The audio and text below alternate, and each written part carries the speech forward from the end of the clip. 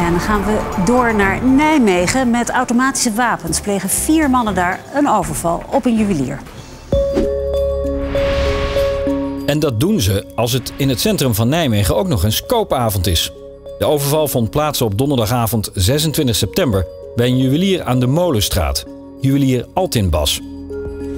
Iets na half negen komen vanuit de Tweede Walstraat twee scooters met vier mannen keihard door de Vlaamse gas rijden. Vlak daarna staan ze voor de deur van de juwelier. De medewerkster heeft net de deur op afstand geopend voor een klant wanneer de vier mannen binnenstormen. Zwaar bewapend. De medewerkster vlucht meteen naar achter. Ze hebben de taken verdeeld. Twee gaan meteen naar de vitrines. Eén met een automatisch wapen houdt de deur in de gaten. En de vierde man, met ook zo'n wapen, heeft bij binnenkomst de klant weggewerkt en gaat daarna naar achter. Daar is de medewerkster dan al weggevlucht. Ze sluit zich snel op. De mannen zonder wapens gaan achter de balie ondertussen in een razend tempo de vitrines leeghalen. Ze stoppen alles in twee big shoppers. De man die naar achter rende heeft intussen door waar de medewerkster is.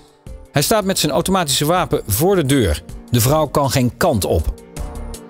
De man bij de voordeur houdt al die tijd de situatie in de gaten en omstanders op afstand. Af en toe zwaait hij dreigend met zijn wapen.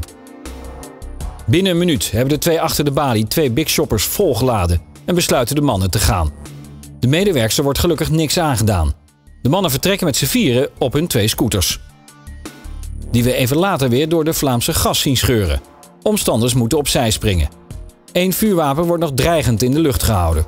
Waarschijnlijk zijn de mannen daarna via de volgende route weggereden van de juwelier. Vanaf de Vlaamse gas hebben ze twee mogelijkheden om op de Van Schevengavenstraat terecht te komen. De twee scooters steken dan waarschijnlijk de oranje singel over en gaan richting de drukke wedren. Vlak daarna komt er een melding dat achter de woning op de Van Gentstraat een autobrand is. Er blijkt niet alleen een Volkswagen Caddy in brand te staan, maar ook twee scooters. Alle drie blijken ze gestolen en ze zijn waarschijnlijk achtergelaten en in brand gestoken door de overvallers.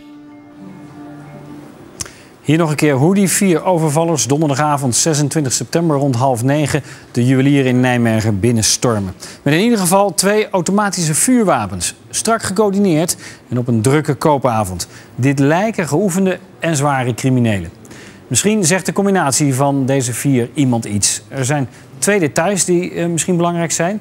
Zo zien we hier de schoenen van één van hen. En hadden twee een tas van Lecoq Sportief. Verder spreekt de politie heel graag met mensen die de mannen toen in Nijmegen gezien hebben. Rond de juwelier aan de Molenstraat. Op hun scooters, bijvoorbeeld toen ze vluchten met die grote geruite tassen. Of in de omgeving van de Van Gentstraat, waar ze de scooters vlak daarna in brand hebben gestoken. Neem contact op met de tiplijn. Geldt zeker ook voor mensen die iets van de overval of de mannen zelf gefilmd hebben. Er is namelijk sowieso iemand geweest die de overval met zijn mobieltje probeerde te filmen. Uh, diegene is toen meteen bedreigd door die man bij de deur. Nou, die beelden van dat mobieltje willen de rechercheurs heel graag bekijken. En wilt u de daders en hun overvallers bekijken? Dat kan uiteraard via de site.